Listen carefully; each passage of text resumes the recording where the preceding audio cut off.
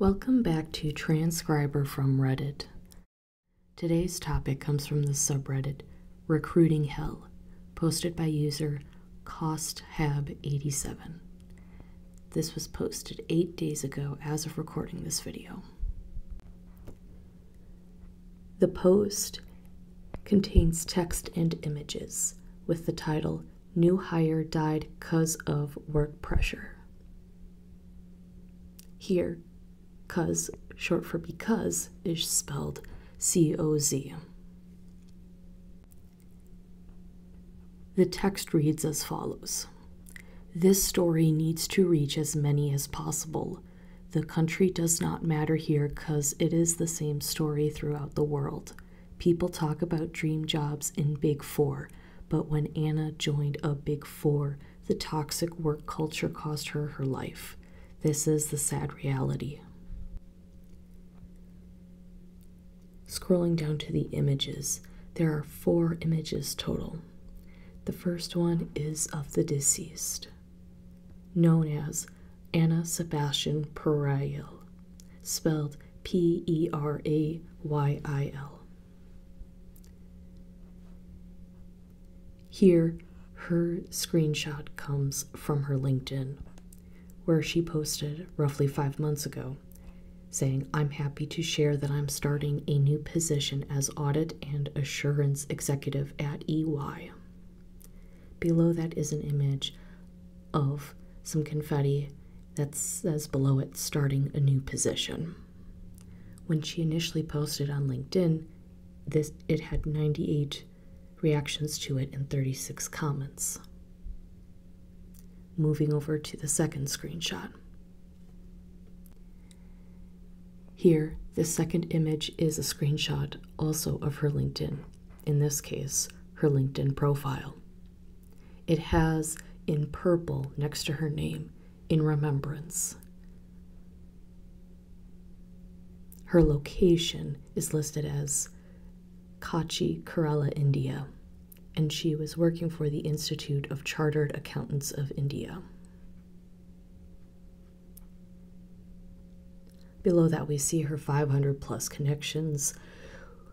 And below that, we see in purple again, in memory of Anna Sebastian Perayil. This account has been memorialized as a tribute to Anna Sebastian Perayil's professional legacy. Excuse me, professional legacy.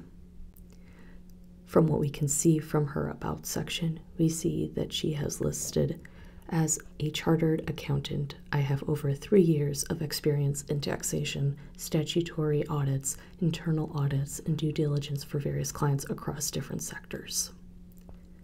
Continuing on, but the screenshot doesn't show that here.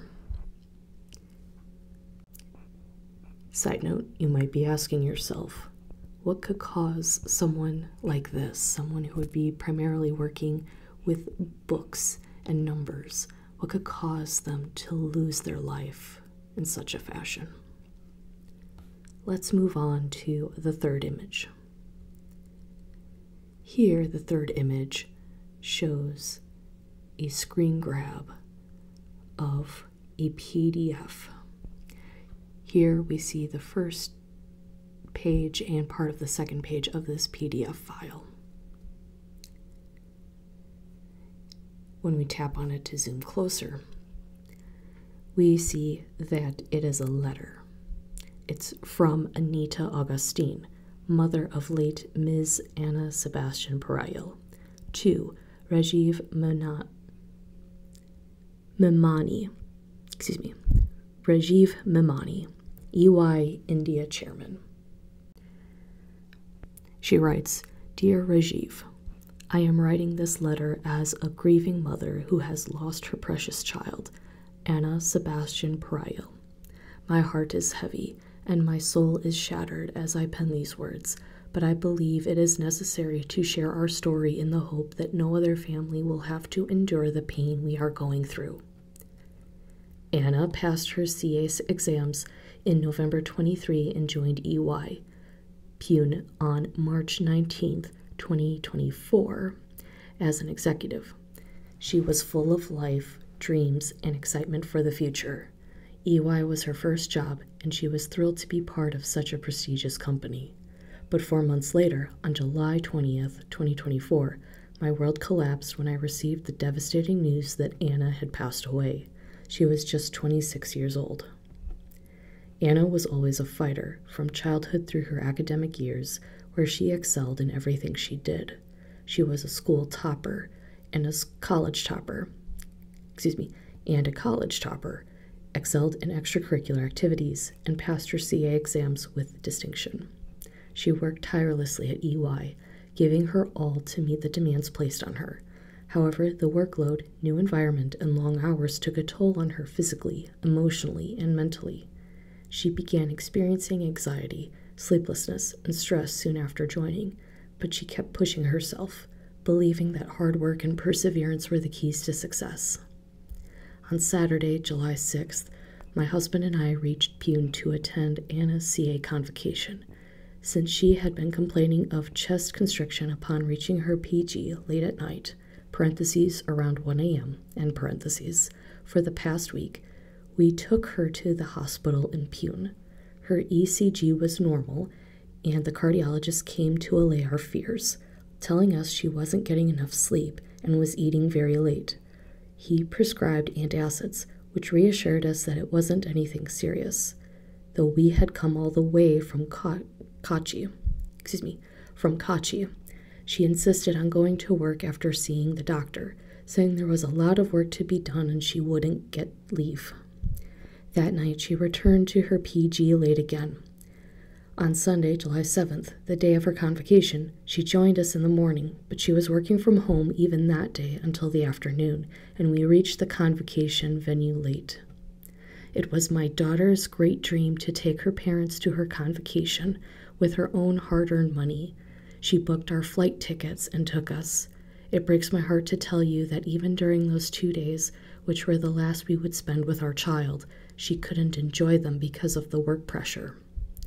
When Anna joined this specific team, she was told that many employees had resigned due to the excessive workload, and the team manager told her, excuse me, the team manager told to her, quote, Anna, you must stick around and change everyone's opinion about our team, unquote. My child didn't realize she would pay for that with her life. Her manager would often reschedule meetings during critic, excuse me, her manager would often reschedule meetings during cricket matches and assign her work at the end of the day, adding to her stress. At an office party, a senior leader even joked that she would have a tough time working under her manager, which unfortunately became a reality she could not escape. Anna confided in us about the overwhelming workload, especially the additional tasks assigned verbally beyond the official work. I would tell her not to take on such tasks, but the managers were relentless. She worked late into the night, even on weekends, with no opportunity to catch her breath. Her assistant manager once called her at night with a task that needed to be completed by the next morning, leaving her with barely any time to rest or recover. When she voiced her concerns, she was met with a dismissive response, quote, You can work at night. That's what we all do, end quote. Anna would return to her room utterly exhausted, sometimes collapsing on the bed without even changing her clothes, only to be bombarded with messages asking for more reports. She was putting in her best efforts, working very hard to meet the deadlines. She was a fighter to the core, not someone to give up easily. We told her to quit, but she wanted to learn and gain new exposure. However, the overwhelming pressure proved too much even for her. Now that ended the third image. Now we move on to the fourth image, again a screenshot of a PDF file. This appears to be the second half of that second page and the final and third page of the document. I continue reading. Anna would never have blamed her managers. She was too kind for that but I cannot remain silent, burdening newcomers with such backbreaking work, making them work day and night, even on Sundays, has no justification whatsoever. She had just left her hometown and loved ones. Everything was new to her. the organization, the place, the language, and she was trying very hard to adjust. You should show some consideration to new employees. Instead, the management took full advantage of the fact that she was new and overwhelmed her with both assigned and unassigned work. This is a systemic issue that goes beyond individual managers or teams. The relentless demands and the pressure to meet unrealistic expectations are not sustainable, and they cost us the life of a young woman with so much potential. Anna was a young professional just starting her career. Like many in her position, she did not have the experience or the agency to draw boundaries or push back against unreasonable demands. She did not know how to say no. She was trying to prove herself in a new environment, and in doing so, she pushed herself beyond her limits. And now she is no longer with us. I wish I had been able to protect her, to tell her that her health and well being mattered more than anything else, but it is too late for my Anna. I am writing to you now, Rajiv, because I believe EY has a profound responsibility to ensure the well being of its employees. Anna's experience sheds light on a work culture that seems to glorify overwork while neglecting the very human beings behind the roles. This is not just about my daughter. It's about every young professional who joins EY filled with hopes and dreams, only to be crushed under the weight of unrealistic expectations. I took the time to read EY's human rights statement, which is not linked here in the screenshot, but it shows that it's linked here in the document, which bears your signature. I cannot reconcile the values expressed in that statement with the reality my daughter faced. How can EY begin to truly live by the values it professes? Anna's death should serve as a wake up call for EY. It is time to reflect on the work culture within your organization and take meaningful steps to prioritize the health and wellness of your employees. This means creating an environment where employees feel safe to speak up, where they are supported in managing their workload, and where their mental and physical well being is not sacrificed for the sake of productivity. No one from EY attended Anna's funeral. The, excuse me. This absence at such a critical moment for an employee who gave her all to your organization until her last breath is deeply hurtful. Anna deserved better, and so do all the employees who continue to work under these conditions. My heart aches not just for the loss of my child, but also for the lack of empathy shown by those who are supposed to guide and support her. After her funeral, I reached out to her managers, but I received no reply. How can a company that speaks of values and human rights fail to show up for one of its own in their final moments? Becoming a chartered accountant involves years of toil, hardship, and sacrifice, not only for the student but also for the parents. Years of my child's hard work have been snuffed out by just four months of EY's callous attitude. I hope this letter reaches you with the gravity it deserves. I don't know if anyone can truly understand a mother's emotions when she lays rest to her child, the child she held in her arms, watched grow, play, cry, and shared dreams with, unless they have experienced the same pain. I hope my child's experience leads to real changes so that excuse me, leads to real change so that no other family has to endure the grief and trauma we are going through. My Anna is no longer with us, but her story can still make a difference. Sincerely, Anita Augustine. Upon ending reading that fourth image, I want all of us here to take a moment of silence in honor of Anna.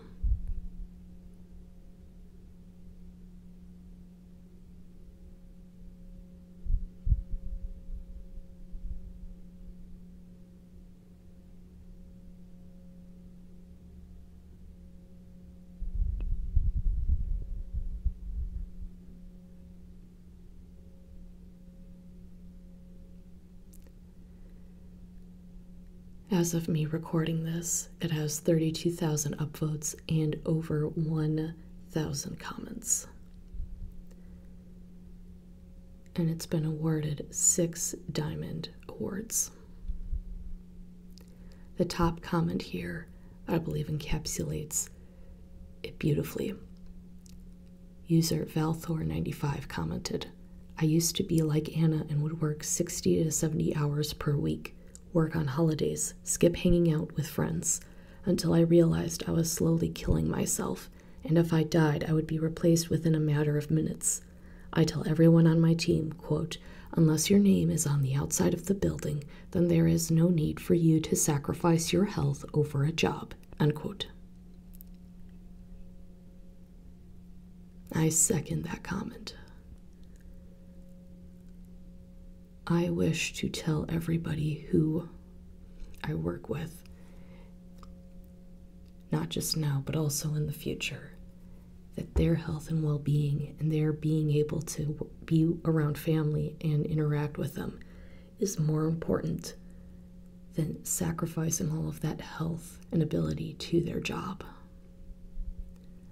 Unfortunately, we don't do a good job of teaching our young people that these days. How do you set boundaries with your boss? How do you combat unrealistic expectations? What do unrealistic expectations look like?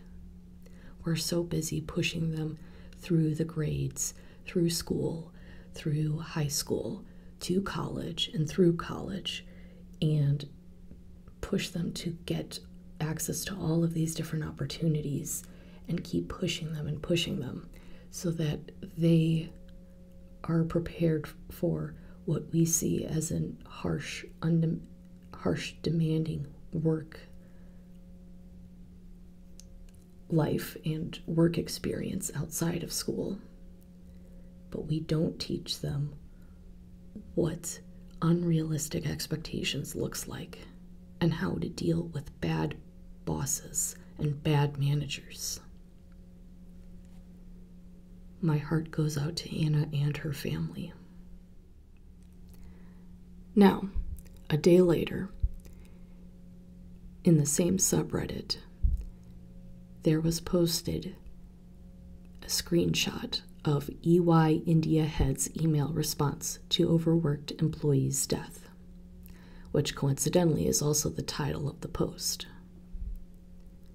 As of recording, it has eight, over 8,000 upvotes and 759 comments. However, the image that was there is currently showing with a red circle with a line through it, and the text next to that reads, Sorry, this post has been removed by the moderators of r slash recruiting hell. I don't understand why it would have been removed by the moderators. Fortunately, I was able to screen grab it, and I will show you that screen grab and read from it. Here we see the screen grab.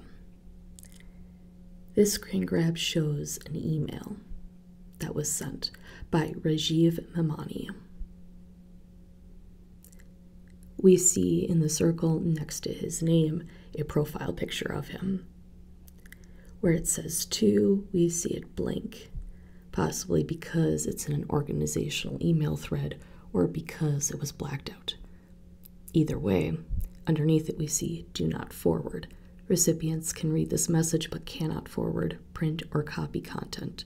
The conversation owner has full permission to their message and all replies. Permission granted by rajiv.memani at in.ey.com. His email message reads as follows Dear all, as you all would be aware, since yesterday, several messages regarding our firm have been circulating on WhatsApp and other social media platforms. These pertain to the tragic passing away of Anna Sebastian on 20 July 2024, who joined us in our assurance team in Pune on 18 March 2024. The fact that her journey with the firm was so short lived, only four months, makes this tragedy even more poignant for all of us. Anna hailed from Kochi and worked at our Pune office.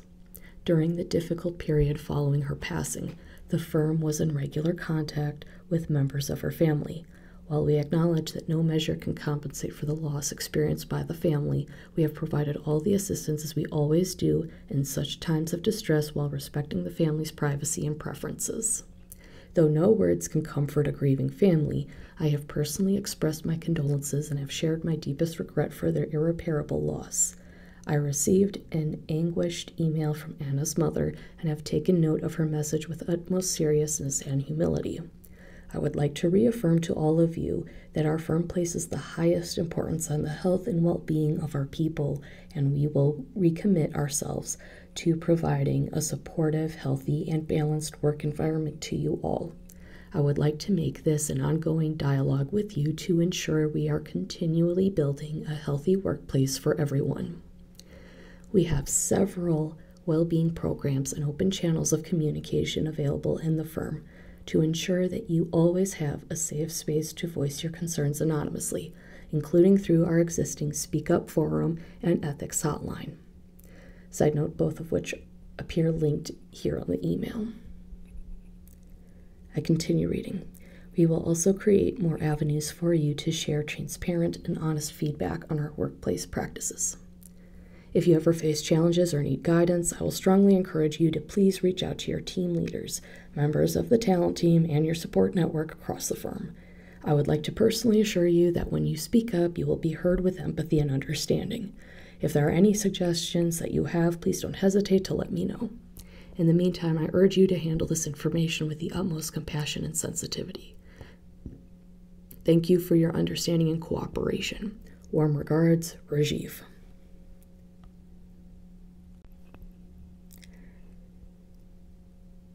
This is a very typical corporate response, and it is honestly,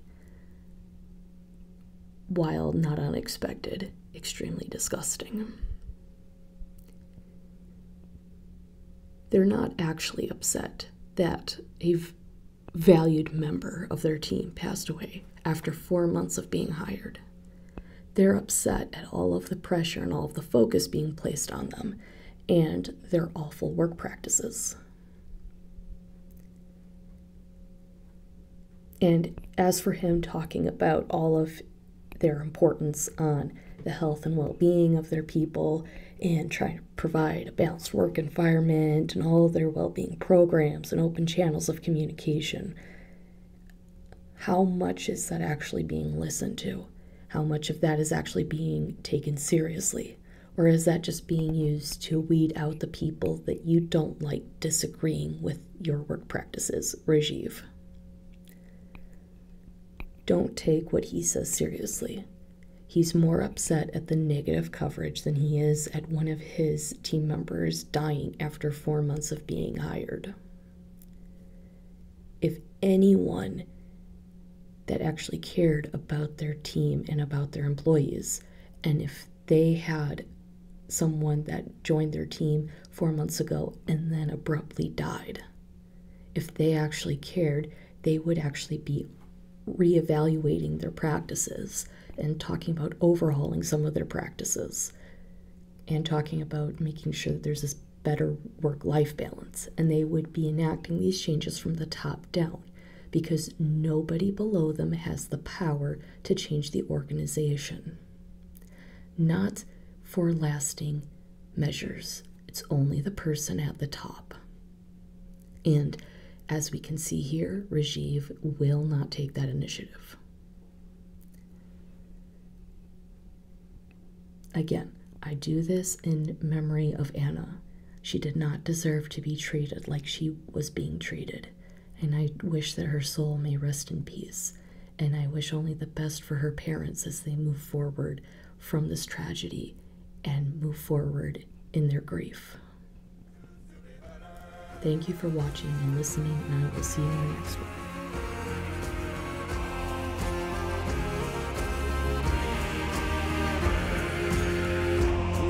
the bones of despair.